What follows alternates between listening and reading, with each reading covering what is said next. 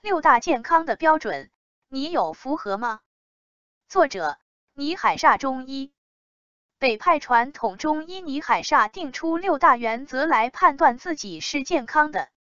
第一个，一觉到天亮，当然有些事情烦恼你，比如你和你先生吵架闹离婚，那当然睡不住觉，这是正常的。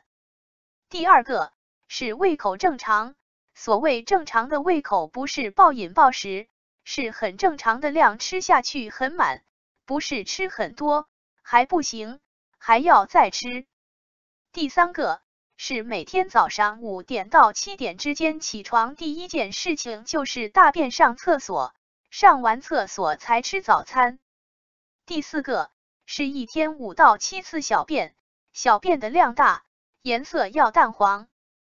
第五个，一年四季，不管春夏秋冬，不管你在哪里，在阿拉斯加，在佛罗里达，还是在加州。永远都是头面身体冷，手脚温热。第六个，男人女人都有，叫做早上的阳反应。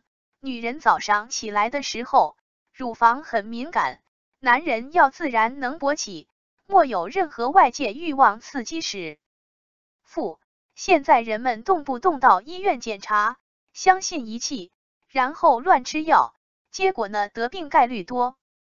身体的状况怎么能用仪器就能检查出来呢？这是西医的一个诡计，希望大家不要上当。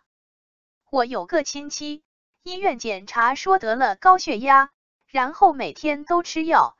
那天我跟他说，人老了，血压高一些是正常的，因为动能退化了，所以心脏就要加速跳动，把血供应出来。然后他就不吃药了。